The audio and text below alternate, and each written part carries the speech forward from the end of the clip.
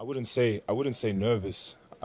For me myself, just ready. I'm just ready, and um, and yeah, of course you work all the year, and then you arrive to this type of final. You want to win. So yes, me, I'm just ready. So as you mentioned, I've I've been I've been uh, there before, won it with Chelsea and beat Real Madrid in the semi-finals. Um, yeah, now I'm on the other side.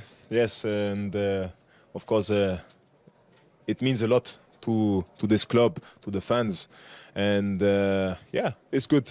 It's good that I am very happy to experience as well this side of it, and uh, hope to to become victorious on Saturday. He's a difficult player to play against. Obviously, he's physically strong, and um, yeah, he's like uh, he's a very good player in Germany. Actually, I think our best striker. So yeah, we have a job to do. Oof. I said it myself. I'm a bit crazy. I can. This is nothing. I think it's nothing new now, but every every time in the positive way, and this is the most important thing.